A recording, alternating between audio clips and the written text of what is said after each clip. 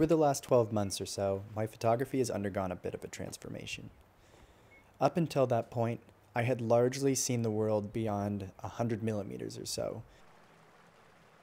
I looked for scenes and compositions and elements that felt so far from reality and that, in and of themselves, they could tell their own unique story. And I still look for these moments. Now, though, I've had this growing interest in wide angle photography and that's the biggest reason I'm making this video. Because now, a wide angle lens is the lens that never leaves my bag.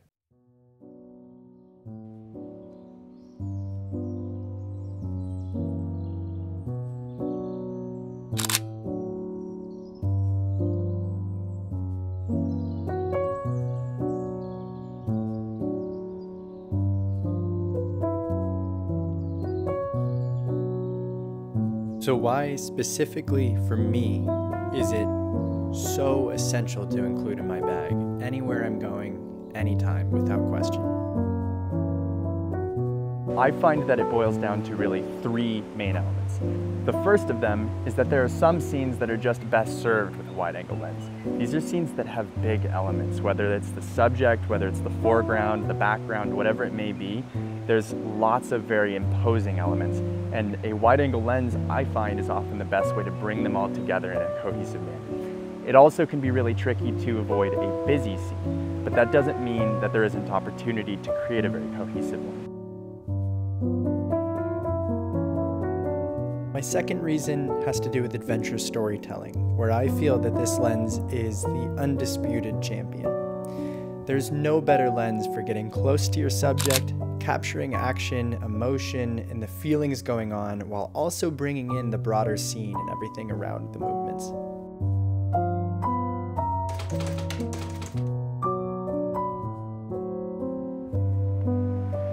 So the third and final reason is just that I prefer to shoot in non-normal focal lengths. I think that wide shots that are unbelievable, uh, that don't look the way the human eye looks, long shots that you can only get through telephoto lenses. I think these are where we capture the imagination best, and it's where I have the most fun creating photos. Um, so that's one of the biggest reasons I will never leave without my wide zoom lens. It's one of the best ways I have to be creative and to evoke an emotion and tell a better story in a place that suits the way I feel about it. Wow, I cannot believe this bird.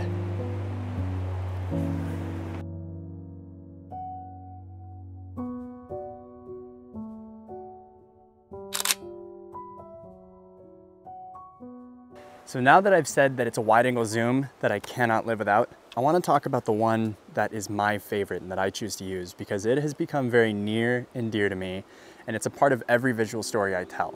This is the Nikon 17 to 28 f2.8.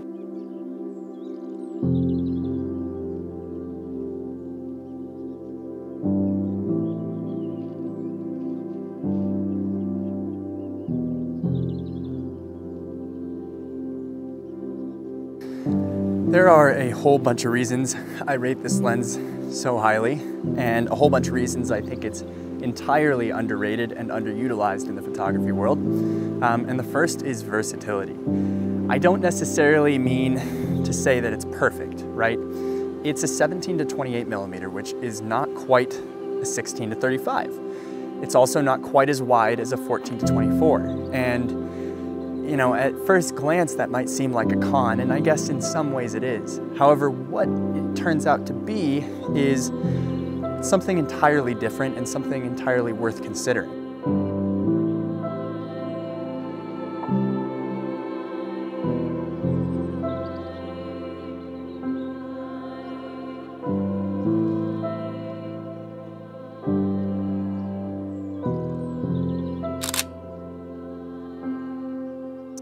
The truth is that most f2.8 lenses, they come with this huge weight tag and price tag. You get to cut the price in half and you get to cut the weight in half and still be able to shoot blue hour and after golden hour and astro and aurora photography and everything that goes on when the light goes down.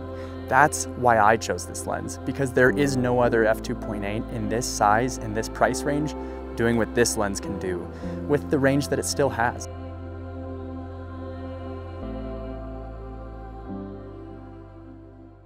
And then if you want to talk ergonomics and handling, it's a small lens with an internal zoom, no switches, no buttons, a clear zoom ring, a clear focus ring, both rubberized.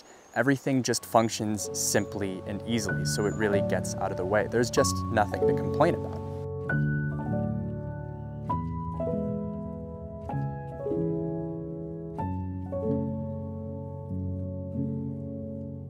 Above all else, this lens's defining quality is its reliability.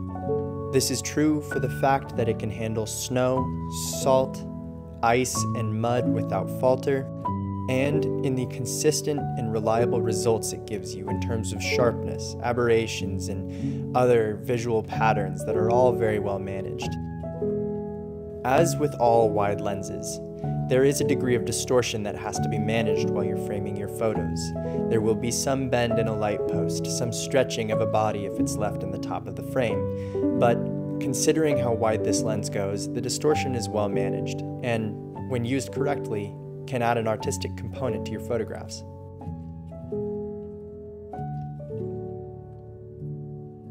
So I just wanted to take a quick second to talk you guys through this shot I'm working through right now. I've got this big, beautiful tree and it's got these four main trunks coming out of it. Um, they're all sort of weaving in different directions, giving it this really, really nice three-dimensionality. Um, and then to help that, all the other trees and all the other foliage, is, it, there's a little bit of space between it and the tree, and that really helps this tree to stand out as kind of this clear main subject. Um, so I'm getting really low. I'm opening this thing up really, really wide to about 17 millimeters. Um, and then I'm trying to use the sun that's coming in from the back and backlighting the tree. I'm trying to use that to kind of, uh, to balance the light out, not let anything blow out, um, but to, you know, maybe add a sun star, uh, at least to emphasize some of the texture on the tree. My settings are right around 1 20th to 1 40th of a second um, right around f8 to f11 and ISO 200 to 400, depending on what it takes to get uh, you know a sharp frame with this intermittent breeze coming through. Anyway, that's what I'm working on here, and here's the result. I hope you guys like it. Let me know.